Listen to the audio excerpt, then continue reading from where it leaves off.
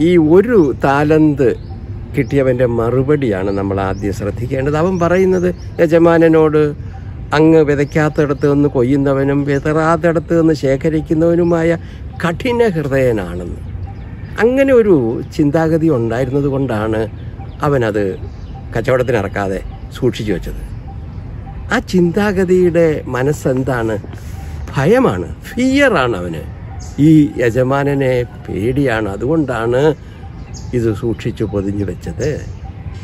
ഇത് ഈശോ ഉന്നം വെക്കുന്ന പ്രധാനപ്പെട്ട ഒരു കാര്യമാണ് പലപ്പോഴും മതം ഉണ്ടാക്കുന്നത് ദൈവത്തെക്കുറിച്ചുള്ള ഭീതിയാണ് ഭയമാണ്. എന്നാൽ ഈശോ സുവിശേഷത്തിലുടനീളം ശിഷ്യരോട് പറയുന്നൊരു കാര്യമുണ്ട്. തുടക്കത്തിൽ വഞ്ചിയിലായിരിക്കുമ്പോഴാണ് പറയേണ്ടത്. ഭയപ്പെടുന്നത് എന്തിന്? നിങ്ങൾക്ക് വിശ്വാസമില്ലേ?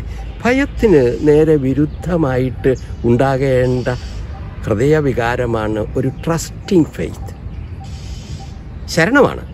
വിശ്വാസമാണ്.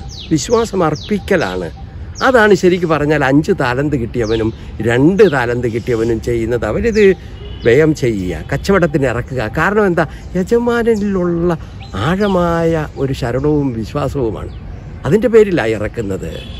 അർത്ഥം എന്താണ് അർത്ഥം വളരെ ലളിതമാണ്. അതായത് മനുഷ്യപുത്രന്റെ വരവിന് വേണ്ടിയുള്ള ഒരുക്കമെന്ന് പറയുന്നത് കടന്നു വരുന്ന കർത്താവിനെ സ്വീകരിക്കാനുള്ള ഒരു മനസ്സിന്റെ സെറ്റപ്പ് എന്ന് പറയുന്നത് എന്താണ്? ഈ ഫിയറിൽ നിന്നും ഭീതിയിൽ നിന്നും ഭയത്തിൽ നിന്നും മാറണം. പകരം തമ്പുരാനോടുള്ള ഒരു ട്രസ്റ്റിംഗ് ഫെയ്ത്തിലേക്ക് വരുന്നിടത്താണ് തേ നിനക്ക് കിട്ടിയിരിക്കുന്ന താലന്തുകൾ നീ കച്ചവടത്തിനിറക്കുന്നത് പോരാ അത് വർദ്ധിക്കുന്നത് പോരാ. അതിന് പരിണത ഫലമായിട്ട് എന്താ സംഭവിക്കുന്നത്? വലിയ കാര്യങ്ങൾ ഏൽപ്പിക്കുമെന്നാണ് പറയുന്നത്. അങ്ങനെ ഏൽപ്പിച്ച് ഏൽപ്പിച്ച് എന്താ സംഭവിക്കുന്നത്? ഈ യജമാനന്റെ അത് യഥാർത്ഥത്തിൽ പിതാവ് തന്നെയാണ് സമ്പത്തിന്റെ മുഴുവൻ ആളായിട്ട് മാറുന്ന ഒരവസ്ഥയിലേക്കാണ് ഭയത്തിൽ നിന്നും ഒരു ട്രസ്റ്റിംഗ് ഫെയ്ത്തിലേക്ക് മാറുമ്പോൾ സംഭവിക്കുന്നത്. ഇതാണ് ഈശോ ആവശ്യപ്പെടുന്നത്. ഒരു ഷിഫ്റ്റ് നിന്നിലിപ്പോൾ ഉള്ള ഭയത്തിൽ നിന്നും ഭീതിയിൽ നിന്നും മാറി ട്രസ്റ്റിംഗ് ഫെയ്ത്ത് തമ്പുരാനിൽ ശരണപ്പെടുക. ആശ്രയിച്ചുകൊണ്ട് ജീവിക്കുന്ന അവസ്ഥയിലേക്ക് വരിക.